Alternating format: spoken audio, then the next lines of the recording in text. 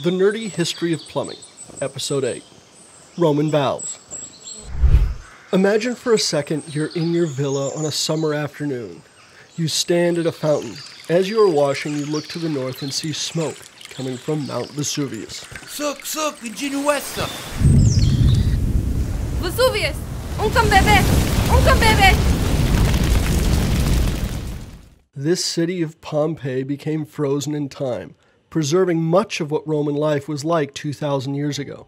Archaeologists discovered plug valves and can finally see how they all worked. These valves, made with 73% copper, 19% lead, 8% tin, and in such quantity, show how impressive these water controls were.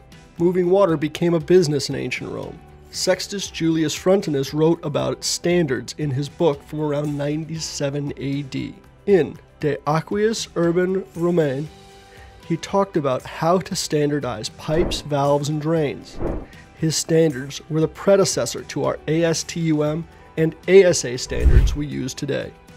Subscribe to learn more about plumbing's history, or if you have questions about your home's plumbing and need an expert, call the Plumbing Nerds.